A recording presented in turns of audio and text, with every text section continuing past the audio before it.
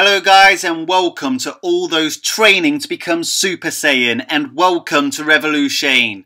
So on today's video what I'm going to be discussing is basically when you boil it down what is the stronger fusion out of the Metamoran fusion and the Potara fusion. Now in terms of utilising both these fusions there is only one pair of characters that have used both fusions, even though one hasn't been used in canon per se, that being Gogeta, who appeared in the 12th Dragon Ball Z movie, Fusion Reborn, as well as his Super Saiyan 4 Gogeta fusion in Dragon Ball GT. Both of those interpretations not being canon to the Dragon Ball Z manga or even the Dragon Ball Super anime. Now, what has prompted me to make this video was basically the fact that people keep asking me what is the stronger fusion, and if I am honest, I thought it was already a well-known fact about who is stronger. I will get to who is stronger shortly, but it turns out that a large proportion of the Dragon Ball community still are not aware of basically how strong these two fusions are. So I'm going to keep this as short and sweet as possible. I'm going to keep my opinions on these characters completely out of it. I am merely going to present to you the figures that have been put forward to us by Dragon Ball guidebooks. And then basically, if you can't accept those details, unfortunately, I can't do anything for you. So seeing as the Metamoran fusion was the first fusion to make its debut in the Dragon Ball series via Trunks and Goten with their fusion resulting in Gotenks, we will start with the Metamoran fusion. So basically, as said before, Gogeta is from GT and the movies, and GT and the movies were not written by Akira Toriyama. They are not his work. They were produced and written by Toei Animation. Now, whilst the Metamoran fusion of Gotenks is canon to the Dragon Ball Z series, Gogeta is not. Now, Toei have provided the GT Perfect files, which give us an indication of how powerful Gogeta is. It doesn't give us an exact figure, or it doesn't give us the multiplication of how powerful the fusion is, but it gives us a very good indication of how much multiplication in power, or for an even better word, an estimate of a certain range of possible power. Now, obviously by now you probably noticed that this picture is not in English. However, fortunately for us, we have a translation and it's on your screen right now. For those of you that can't be asked to read, I will read it for you. So basically, Gogeta is a warrior with no equal, born from the fusion of Goku and Vegeta. He has red hair and a character that is a bit childish. He can defeat Omega Shenlong only with one finger. His strength is dozens of times more powerful than a normal Super Saiyan 4. He can shoot an extraordinary shot, which is a mix of the Big Bang attack and the Kamehameha wave. Now, obviously listening to me there, I really put a lot of emphasis on the word dozens. It is dozens more times powerful than a normal Super Saiyan 4.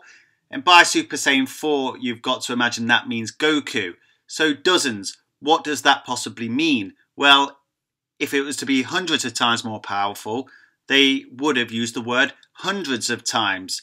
But they didn't. They used the word dozens. And that gives us a certain range of how powerful this fusion could be. So it doesn't say dozen, it said dozens, which indicates that it's a multiplication of a dozen, and a dozen is 12. So if you go by times 2, that makes 24. And remember, it's in the wording, they did not use hundreds, so therefore that indicates that the dozens only goes up to a certain number and that has to be below the number 100. And whilst you probably don't need me to do that maths for you, that is 8 times a dozen, 8 times 12 equals 96. If you were to times it by 9, that would make 108, therefore contradicting what the wording in the perfect GT files say. So going by the GT perfect files, Gogeta at a bare minimum, if you lowball him, he is 24 more times powerful than Goku.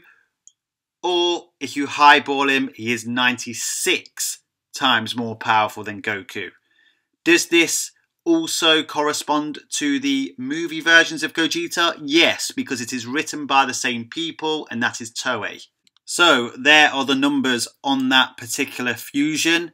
You could argue that maybe Gotenks multiplication is different as that was written by Akira Toriyama, but nothing in that fusion contradicts these numbers. In fact, if you actually weigh them up, it makes quite a lot of sense. So we move on to the Potara version of the fusion of Goku and Vegeta, and that is Vegito. So basically, Vegito is a character written by Akira Toriyama and it is canon to the Dragon Ball Z manga as well as the Dragon Ball Super series as we have recently seen him in his Super Saiyan Blue form, Vegito Blue, when he faces off against merged Zamasu. Now, with Vegito, there are two different sources in which you can get an indication of what his power is. The first one I'm going to use is the Super Exciting Guides. Now, this guide was supervised by Toriyama, but we don't know how extensive his input was, so some people like to disregard it. However, if we go on what the Super Exciting Guide says, basically what Vegito is, is Fusey A times Fusey B.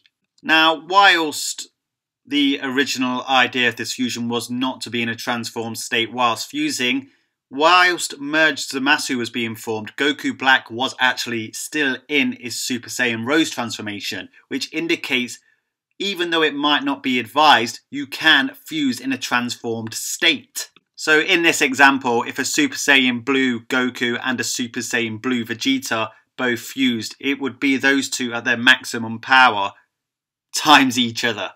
Now that I can't even put a number on how much more times powerful that is, it is literally unprecedented.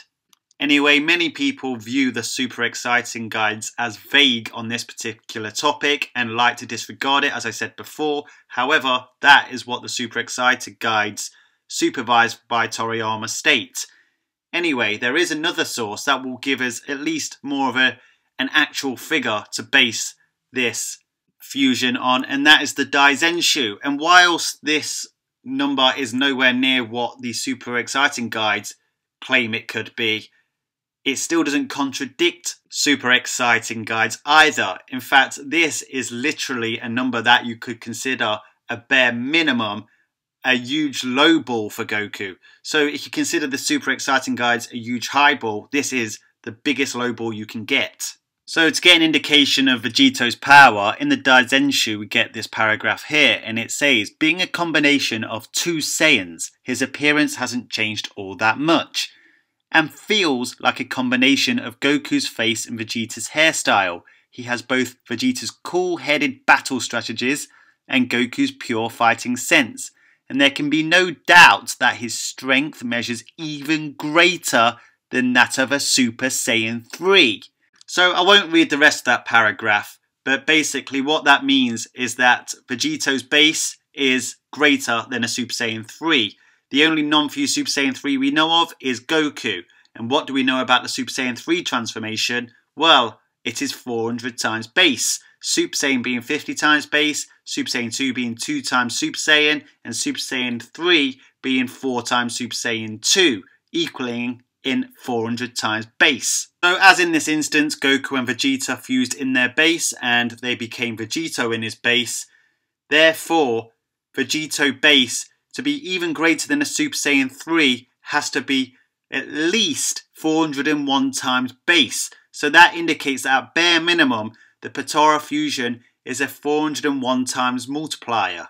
So there you have it. The Metamoran fusion going on the GT Perfect files is anywhere from a 24 to 96 times multiplier.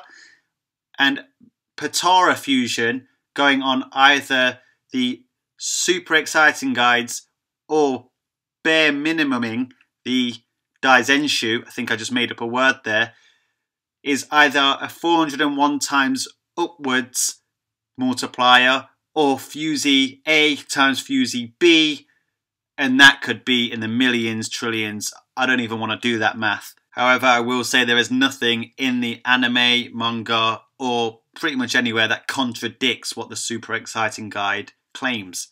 So basically, I think from those numbers you can make your conclusion. I know I have mine. I won't give it because I don't want to upset any Gogeta or Vegito fans. But the numbers are on the screen. Make of it what you will. My objective was mainly just to inform you on these characters and what it states in these Dragon Ball guides. Because of the recent retcon in Dragon Ball Super, both fusions have time limits based on energy expenditure. They both have generally similar movesets, not exactly the same, but similar. Both fusions are extremely formidable. You wouldn't want to take on either if you was the opposite force, unless you're Zeno. However, a major benefit with the Metamoran fusion is you don't have to have a Supreme Kai around at the time. I mean, you can't exactly keep a god of creation as a pet. Anyway, whatever way you interpret the information I put out, this wasn't me being biased. I was simply pretty much putting out what has been put in the guides. But if you feel I've missed something, please let me know in the comments section. And I know this topic has been done to death, but I wanted to make it as clear and concise as possible. Anyway, hit that like button with a universe busting attack. If you haven't subscribed to my channel yet, I have got some great content coming on the way. I believe you'll like it. I believe you'll like the content that I already have on my channel. So hit that subscribe button and you will get my content to your account as soon as it's released. And if you've watched my videos before, you know what's coming next there is one very, very, very important message I must deliver to you, and that is Vegito shitstomps Gogeta. Oh fuck, I gave my opinion. Hello guys, hit that beautiful face in the top left corner. Punch me in the face to subscribe to my channel. And here is some more content from my channel which I am very, very sure you will all enjoy.